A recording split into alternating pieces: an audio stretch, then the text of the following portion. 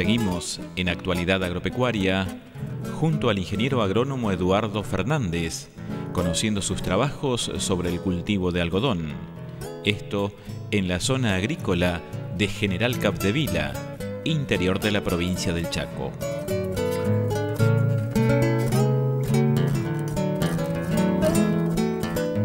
Nos manejamos siempre con las condiciones climáticas. Nosotros tenemos eh, una lluvia en el, en el noveno nudo, 8, 9 nudos, y hacemos 500 eh, centímetros de mepicuat para que la planta se dibuje y se frene en serio. Y de ahí lo vamos midiendo, digamos, a medida que va pasando su crecimiento. Si llueve, hago, empezamos a hacer el, el psicocel común, digamos, el regulador común. Y este año tuvimos problemas que hicimos nosotros antes frenábamos con 20, 30, 40 centímetros, lo frenábamos, este año estamos haciendo 120 y no podemos frenar el algodón.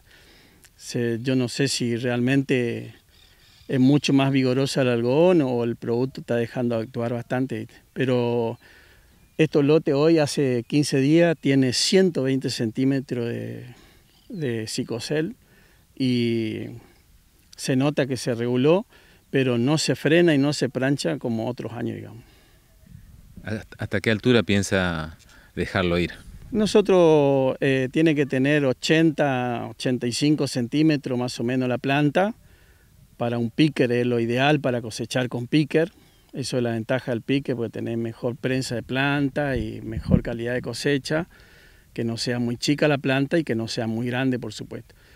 Y la planta de esto van a entrar en final de crecimiento a los entre 18 y 22 nudos, entonces ahí empezamos a planchar algo. Una vez que nosotros llegó a su altura que nosotros queremos, empezamos a, apretar con reguladores.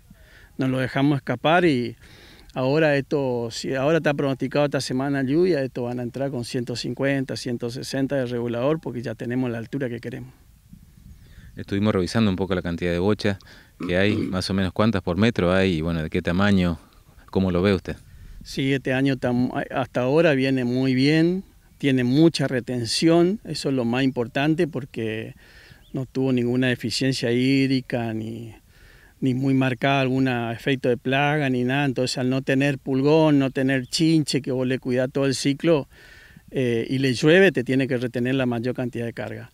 Ahora están en 60, 80 bochas y bueno, tiene todas eh, eh, las bochas arriba que lo tiene que terminar le falta, este un algodón que va a estar para, para, para los primeros de la primera quincena de abril, va a estar totalmente terminado. Y por cosechar, exactamente. Ahí ya entraríamos en la parte de foliante, tenés un 15, 20 días más, una vez que se aplica el defoliante y ahí se entra cosecha. Pero madurez completa de bocha vamos a estar en, en fines de abril más o menos. Sin duda una, linda campaña y bueno que fueron bendecidos por la, por la cantidad de agua mm. que, hay, en todo caso diferente a otras zonas del Chaco y otras zonas del país.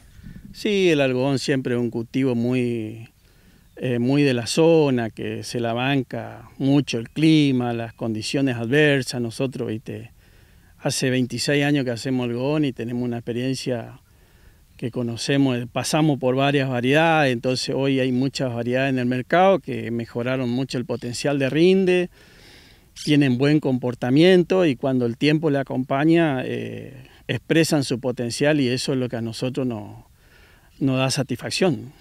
¿Con cuántos milímetros se hizo este lote? Este lote eh, debe, no tiene poco porque llovió mucho, estamos, vuelvo a recalcar, estamos en un campo que esto es alto, acá tiene que llover pero acá en noviembre, diciembre llovió 350 milímetros, después tuvo lluvia de 50, lluvia de 70 y ahora tuvo dos lluvias chicas de 18 y 15 milímetros que hizo ayer. Así que más o menos este ciclo de algodón ya está con 400 milímetros de lluvia. Igual pocos milímetros, 400. Sí, sí, sí, sí, seguro. Eh, aparte son suelo nuevo y eh, tener que tener una buena rotación para soportar, todavía no se sienta que se manchonea ni nada porque está, está bien.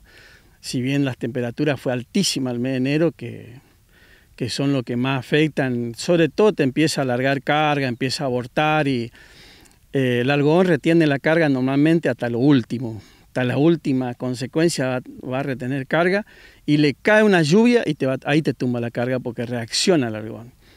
Bueno, esto todavía ahora llovió, se mantiene la carga, eso quiere decir que todavía no viene con deficiencia, digamos, no está marcada la deficiencia para que ocurra eso. ¿Fue fertilizado el lote? No, este lote no fertilizado, eh, son lotes nuevos. Eh, tenemos lotes sí que están fertilizados porque fertilizamos el maíz sobre algodón y fertilizamos el algodón sobre soja.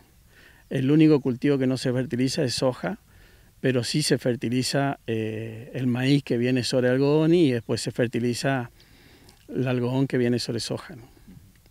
Y básicamente usted o su empresa con su socio, ¿qué cultivos hace dentro de la organización? Nosotros hacemos, eh, tratamos de hacer un 33%, siempre respetar la rotación que, tiene que ser. Hacemos soja, maíz y algodón. No hacemos otro cultivo. A veces hacemos algo de cobertura o no uno cultivo de cobertura. Pero eh, yo como técnico, por ejemplo, el, cultivo de cobertura tiene mucho que ver con el otoño que tengamos nosotros. Si tenemos un otoño llovedor, y vos puedes tener, eh, vos sembrás y tener un buen volumen de cobertura, eh, es muy bueno.